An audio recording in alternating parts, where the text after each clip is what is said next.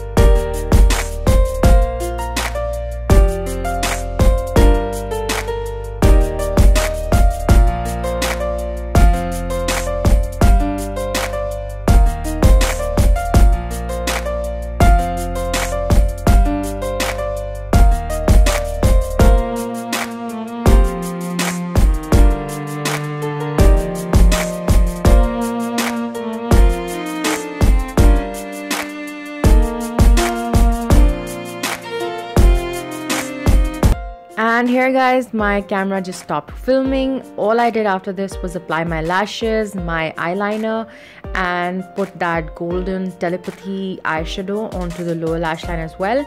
And now just doing all the usual stuff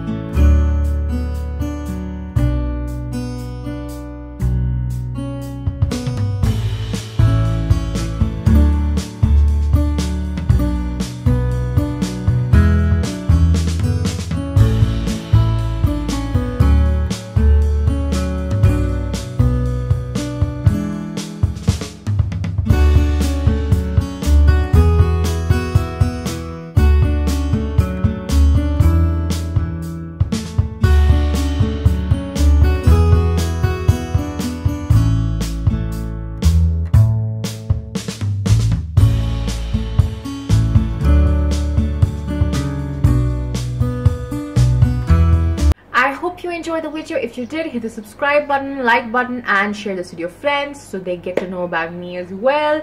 And we get to be friends. And i'll see you next time with a brand new video. I love you girls so so much. Bye